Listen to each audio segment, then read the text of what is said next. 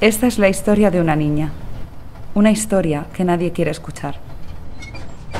Ella, Celeste, viajó durante horas y días en un espacio muy pequeño para llegar a un destino más amable, pero alejado de su familia, de sus seres queridos.